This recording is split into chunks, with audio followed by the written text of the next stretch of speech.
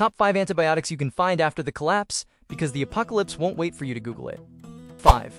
Pine resin. A deep cut in the wasteland? You don't need stitches, you need tree blood. Sticky, golden, and lethal to bacteria. Packs the wound, seals it shut, and makes you smell like the forest that saved you. 4. Oregano oil. Forget the spice rack. This is liquid napalm for germs. Just one drop too strong and you'll scream louder than the infection. Dilute it or regret it. 3. Garlic. Crush it, spread it, or chew it raw if you're desperate. It's been killing infections since knights carried swords, and it still works when your pharmacy is a smoking crater. 2. Honey. Real honey. Thick, golden, and sticky enough to trap bacteria like flies in amber. Soldiers used it in trenches. Raiders could use it on you. 1. Silver. Medieval assassins feared it. Modern hospitals still use it.